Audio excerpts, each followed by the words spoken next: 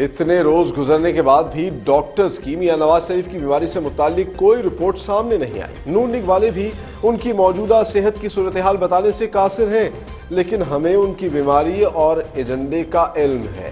فردوس عاشق آوان کی نواز شریف پر تنقید، شہباز شریف پر بھی گولہ باری کی بولی۔ لوٹ پوٹ ہو کر اپوزیشن لیڈر کا عہدہ لینے والے نے چپکے سے استعفیٰ دے دیا۔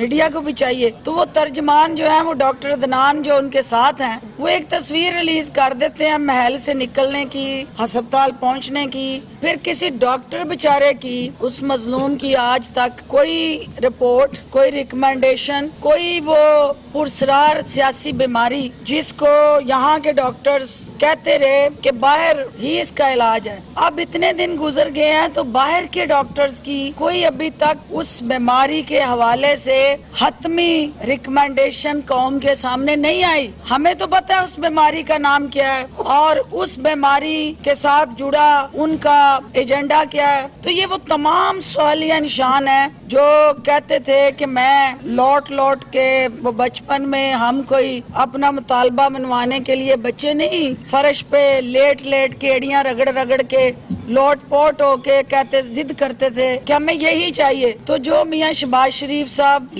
لوٹ پوٹ ہو کے لیڈر آف دی اپوزیشن کا عہدہ لیا انہوں نے، آج انہوں نے چپکے سے ہی اس عہدے سے استعفیٰ بھی دے دیا۔